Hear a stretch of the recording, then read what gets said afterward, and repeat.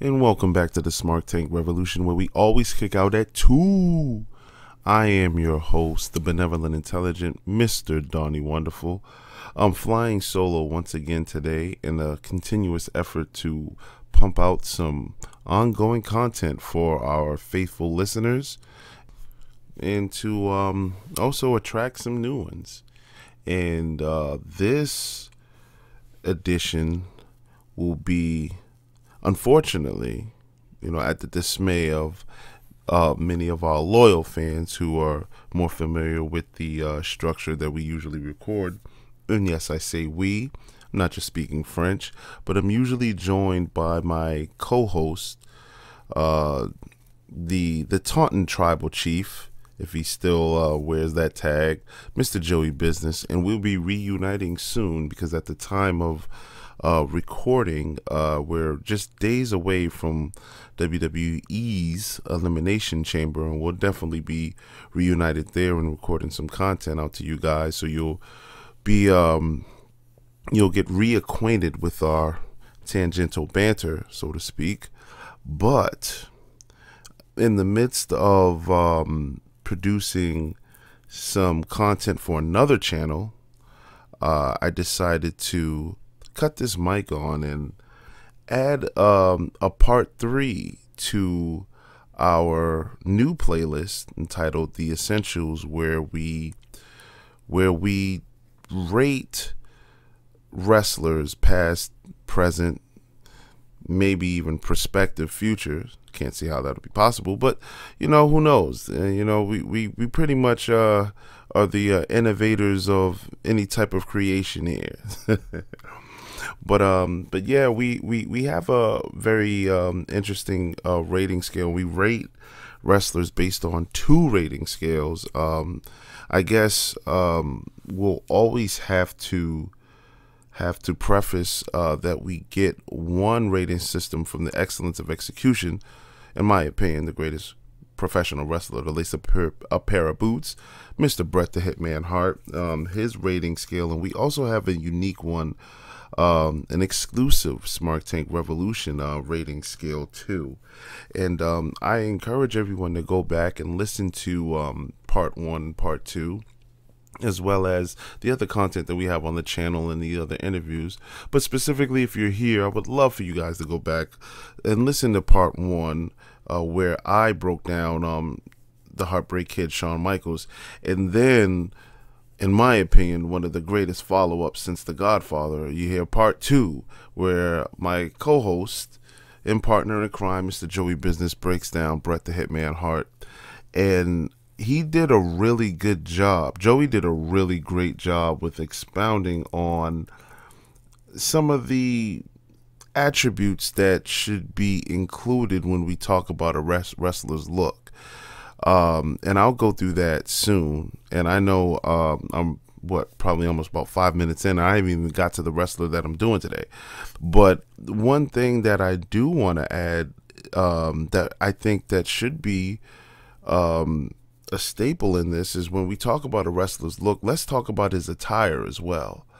And just to backtrack on on part two, where, where Joey talks about Bret Hart, um, I think the pink look really made Bret more welcoming. Pink isn't an alarming color, and I. Th- listening to to Joey's assessment on Bret Hart made me really question and realize that a Bret's look, and when we talk about look, in Bret's um, assessment of what makes a good wrestler. Look pretty much really means the body but joey went went on with the attire too. And i always loved bret's attire and i thought it was uh really welcoming and um, really creative to have all those designs in predominantly pink and black. So um and and i even asked bret this in in an interview which i'll also um provide that link to um, an interview we did with Bret Hart when he came to um, the Massachusetts area. Oh, I got an alert. but yeah, uh, Bret Hart came to um, the Massachusetts area in 2017. He actually uh, is a regular here with um with with big time wrestling promotion, and we were able to um, to uh, you know do photography and um and media for that. But uh, but yeah, I, ju- I just wanted to backtrack a bit and and talk about that. But okay, let's get into this. The Essentials Part 3. The Million Dollar Man, Ted DiBiase, which I think is a um, a really, really great pick. Um, you know, what can you follow Bret with? Um, what can you follow HBK with? Okay, his nemesis Bret, and then from there, like when you set the the bar that high, um, there are tons of um, former champions and, and Hall of Famers that we can that we could have went with, but I decided to choose one that was never a um, a world champion or an intercontinental champion during his prime WWF run back in the day because I think that it's it's going to make for an interesting um, with uh, within the categories that we're given, which are so. First, we're gonna go through the uh, the Bret Hart uh, assessment, which ranks or scores everything from one to ten. So we have a wrestler's look, their physique, appearance, and presentation, and um, like I mentioned earlier uh, on um, Joey's assessment of Bret Hart, he really went in and um, really you know, gave us more meat of the presentation and and what that should entail. Now, uh, my my interpretation of that was, uh, you know, how he was presented to uh, the audience within his character. Um, but Joey, like I said, and uh, kudos to you, brother, for for really expounding on that, and I'll definitely keep that in mind going forward. So, when we're talking about the Million Dollar Man, Ted DiBiase, so the the physique is very believable. I uh he's about I think uh in his in his wrestling he's about six between six two and six four. Um, you know, when he debuted he had the blonde hair, then he went to the uh you know the darker colored um you know the uh the the goatee with the chin straps uh like his appearance looked very believable. I score very high if your appearance looks believable which uh at the time when he came in um the WWF I know Vince was was really big and high on on big guys and large guys um, you know, his ring attire was uh, it was basic, you know, the dollar sign, but I think the um, the magic within the character was was how he was able to uh, to pull it off and and and look believable and sound believable, which I think he did. Um, so even with um, with with Virgil at his corner, uh, Virgil at his side, his butler, I think like the appearance and the appearance with that was real. I think Ted DiBiase was in decent shape. You know, he, he, looks like a looks like a football player. Um, you know, wasn't really jacked to the gills, but you know, presentable. Like you can, he can go out on the beach topless. You know, shirtless, I should say.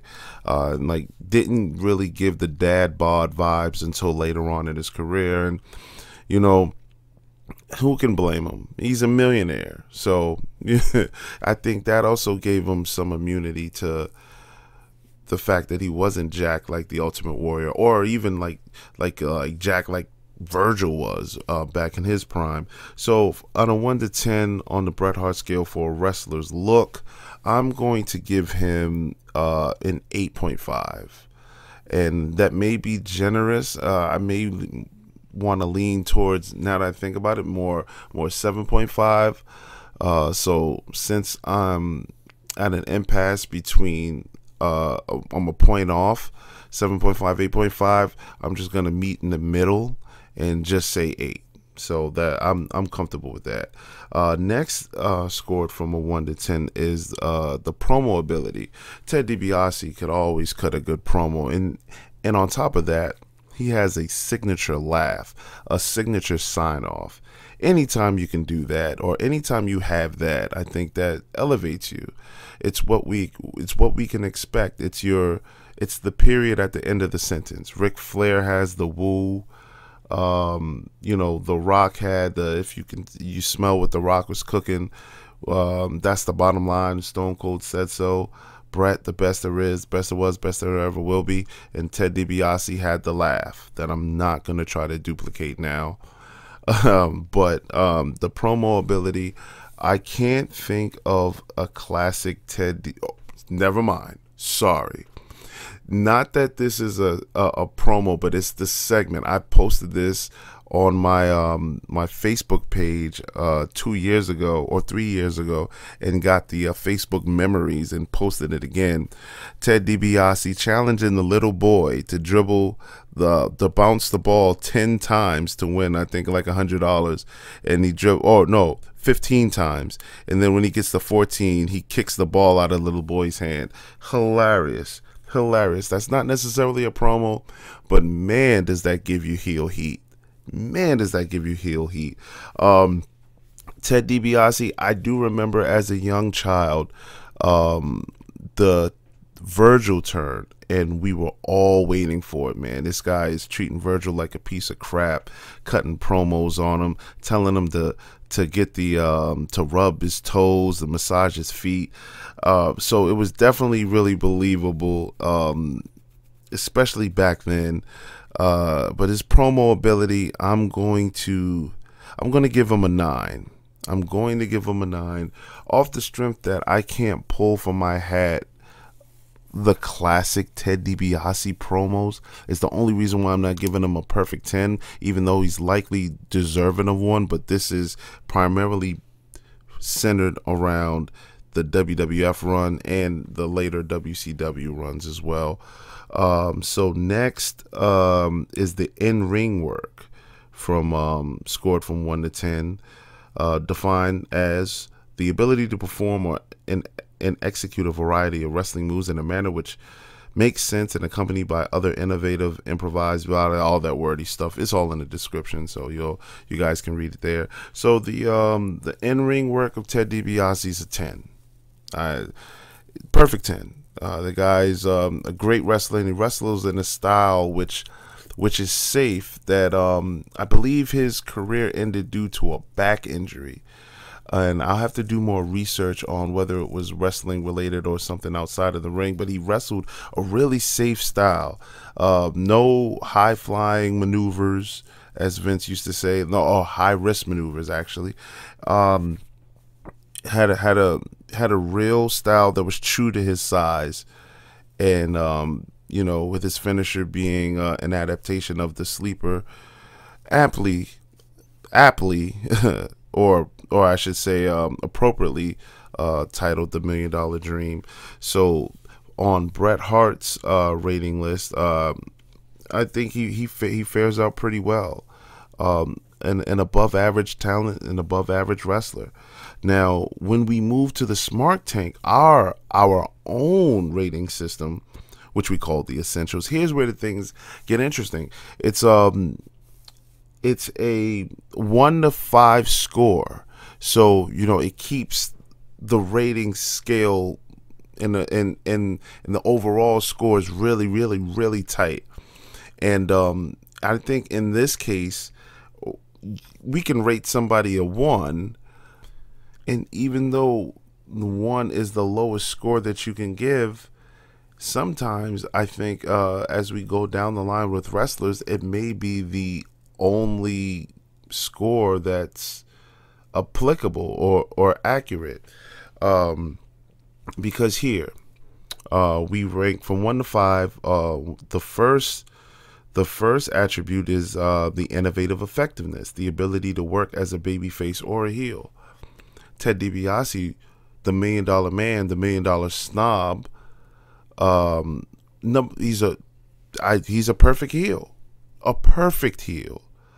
But this, this um, ranking here, this factor here, basically says, could you work? Can you work as both? So someone like, uh, it's primed for like a uh, Seth Rollins type of wrestler. You know, Seth has been a babyface, Seth has been a heel. Or to put it to you like this, if this were Roman Reigns 24 months ago, we wouldn't know because he didn't have his heel turn yet. So now that Roman Reigns has kind of come alive in his heel heel character, obviously he he would probably tip the top of the scale.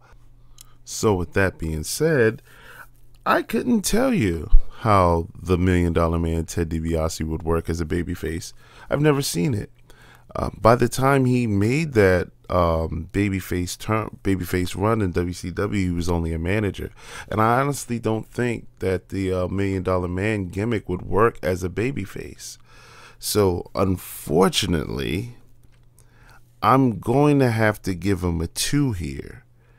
Now, Ted DiBiase, in my opinion, is talented talented enough to have made any role that was given to him a success. And if he was given the task to pull off the Million Dollar Man as a babyface, I'm pretty sure he would have told Vince, "I got it. I know just how to do it," and I think he would have done it. But um, as far as I can remember, I. The SmarkTank Revolution scale, you know, it doesn't mean that they're bad. It's, it's a lot of these things we're pulling off of memory, but I can't tell you when um, I've ever seen the Million Dollar Man, Ted DiBiase, as a babyface. It's it's just not it's just not there for me. Um, the next is the classic matches and the classic rivalries, uh, scored from one to five you know, pretty self explanatory. Um, the Million Dollar Man, Ted DiBiase, as far as having a classic match, I know a lot of people won't consider this classics, but the uh, the run he had with uh, the Dusty Rhodes, the American Dream, there was some really good wrestling. Unfortunately, no one's ever really going to talk about it. Um, the chemistry between him and Jake Roberts. Look at WrestleMania 6. Phenomenal. Oh, phenomenal. Like I can watch those two all day. Nobody's ever really going to talk about it or even reference it. When we discuss the Million Dollar Man, we typically focus on the character and how he was able to to personify a rich, corrupted savage, honestly that um, would try to buy championships and and basically would use his use his opulence to to get his way. But we don't talk about the classic matches. And I think there's some really good ones in there, but classic I just can't find the classic one that the aha or if I mention, hey, were you a fan of the Million Dollar Man, Ted DiBiase? And I may find guys that that would agree, but as far as um, um, like the matches that they would like to see or what they would consider classic, they would have to be wrestling fans. They would have to be wrestling, diehard wrestling fans. And as I'm scrape, scraping the craters of my brain for the data to give you about a classic um, match uh, with Ted DiBiase. I mean, I am thinking of um, uh, Randy Savage at at WrestleMania four, but I think that that would have been better had they had a longer lasting feud because I know it did spill into SummerSlam with the Mega Powers versus the Mega Bucks. But um, we could have given uh, Randy Savage and, and Ted DiBiase a half an hour I think I think they would have they really would have stole the show. But uh, again, you know, it's it's going to score low because I can't think of a classic match. So I'm I'm gonna do uh, a a 2.5 here. Uh, I really wanted to say one, but like I'm really a fan of Ted DiBiase. Really am a fan of Ted DiBiase, and my heart just couldn't. I, I couldn't do it. My, my my heart couldn't put him at the bottom. So um, two and a half here. 2.5 rather. And then the last thing on our rating system, uh, defining or redefining moments. Ooh, okay. Um, this is another hard one for me um, because he was a really, really great heel. Um, even after his wrestling days were, were were behind him, his run in '94 to '95 or '96 when he had the Million Dollar Corporation, when he um, corrupted Tatanka, when um, the crown jewel of the Million Dollar Corporation became Sid. You know, like there's some really great stuff in there. It's all watchable. Um, I just can't really put a finger on a defining moment. Not like in comparison to um, to uh, HBK and Bret Hart. So um, like I guess in hindsight now, we probably should have waited. you should probably should have broke the ice uh, with with a wrestler that wasn't a multi-time heavyweight champion uh, with someone else. But um, yeah, I'm gonna have to go 2.5 here again, and you know it hurts to to actually I'm gonna have to go with a two. it it hurts to rank to rank him so low on our um definitely promote Ted DB the Million Dollar Man Ted DiBiase's career in WWF and WCW as a successful one, hands down. Is he a Hall of Famer? Yes. Does he deserve all the accolades? That that that that he's had as far as being um being a great wrestling mind and and even the work that he did before the WW uh before his WWF run. Does he deserve all that praise? Absolutely. Is Donnie Wonderful a fan of Ted DiBiase? Absolutely. The Bret Hart scale was more kind to him than our essential scale.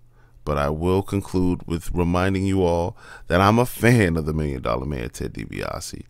And who knows, maybe even our rating system will will will get touched up and, and do some redefining on our own. But yeah, that's my uh that's my score for both the uh the Bret Hart scale and the SmarkTank Revolution scale, the essential. So until the next one, guys, thanks for listening.